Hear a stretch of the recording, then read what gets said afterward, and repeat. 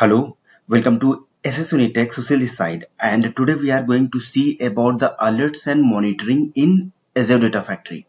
So this is very important concept by which we can set up the alerts. So if your pipeline got failed or your activity got failed then we want to send an email. So everything we will set in this video. So how we can set the emails that we will see.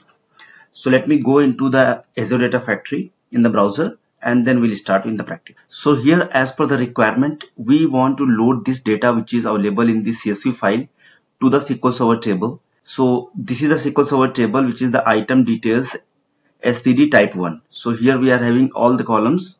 Those are available in the blob storage. So we just want to load the data from this file to that table. And at the runtime, we will be going to create the custom error here and then we want to shoot an email. So how we can do that? So let me quickly go into the Azure Data Factory. Here let me try to create a new pipeline and this pipeline mainly call for alert pipeline something like this then here we want to copy the data so I'm going to use the copy data activity and this copy data activity our source is the Azure Blob Storage. So we need to select the dataset as we have already created the dataset. So let me select that one. After that, let me open so I can show you that.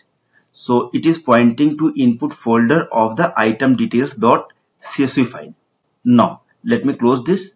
Go to the sink by which we want to keep the file. So as I have already created the dataset for that sink as well. So let me quickly open this so this is pointing to Azure SQL SSU database and the table which is the item details dot std type 1. So this is the same table. Now here after creating this let me try to publish this.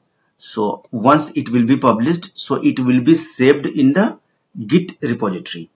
So now we have successfully created the pipeline and we have successfully published that as well. So for creating the alert and monitor, we need to go into the monitoring tab here. So let me click on this monitor tab. After that, in the notification section, we can see alerts and matrices. So let me go here.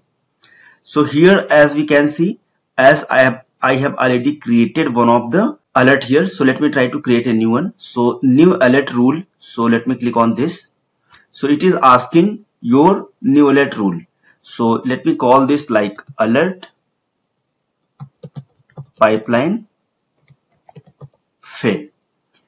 We can specify the description, whatever you want. Below of that, we can see the target criteria. So on what criteria we want to get the emails. So let me click on this plus symbol.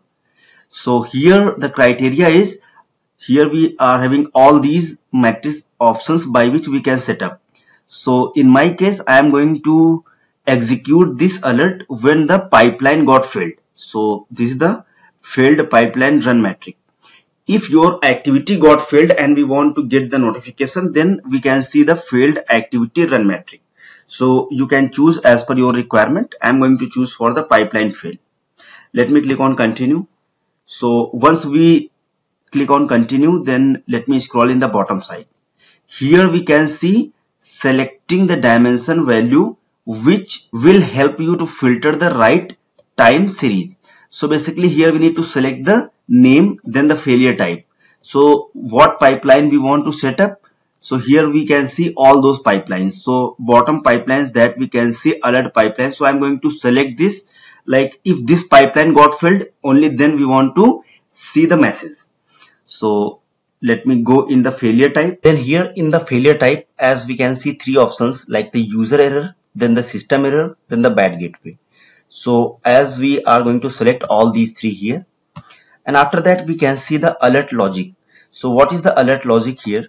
So alert logic is saying if your pipeline got failed and the count of the failure is more than zero, then we want to see the error message there. So that's why we have set up like this threshold value count as zero. So if this is greater than zero, then we will see the message then we can see the evaluate based on so here we can see the period and after that the frequency if we are going to select the period as over one minute or whatever value you want to set here. So I'm going to select for one minute and the frequency.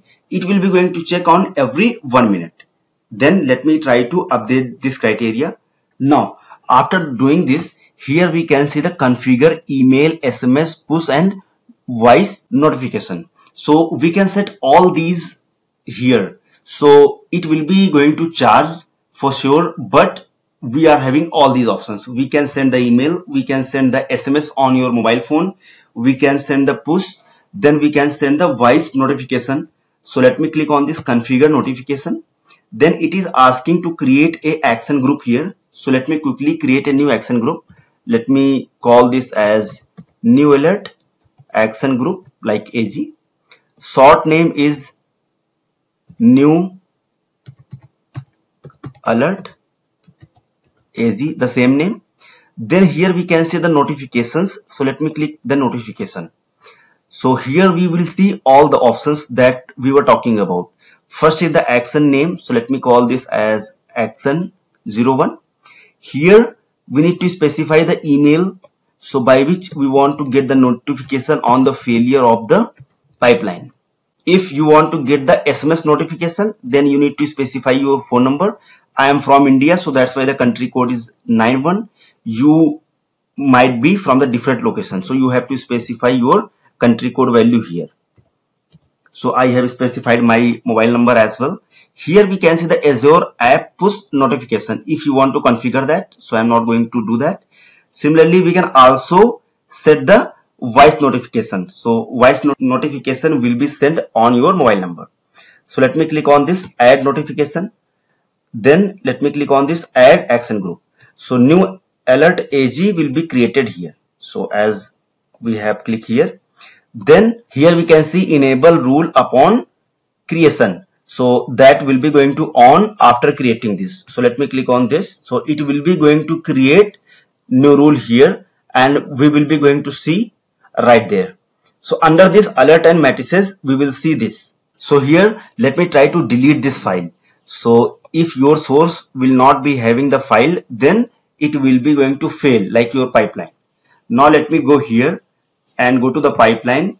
And under this pipeline if we want to get the notification then we should be able to execute this by using the trigger option and it should not be executed by using the debug option. So as we have executed by trigger so it's running. So go to the notification section under the monitor of the pipeline run.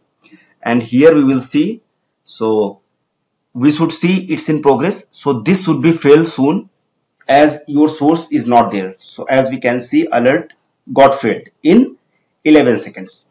So everything is ready. We can go here into the outlook to check the image. So as we can see we have already created this action group. So that's why we got the notification like this action group we have created and you are the part of that. Then we can see this alert message. So we got this alert message due to the failure. And if we can scroll in the bottom side then we can see alert activated because what was the reason? The reason is this pipeline got failed due to the user error. So this was the error type by which this alert got activated and this is the pipeline. So we should go and try to check that pipeline. So after correcting this we can execute that pipeline again. So this is the all about use of the alert inside your Azure Data Factory. So we have seen how inside the alert how we can create that. What are the different options available by which we can set up the alert on your email on your mobile phone through the SMS on your mobile phone through the voice notification and then the push notification so everything that we have already covered here and I also got the notification on my mobile phone but I cannot show you here because that is available on my mobile phone through the SMS we have received. So thank you so much guys for watching this video. If you really like this video, please subscribe our channel to get many more videos. See you in the next video.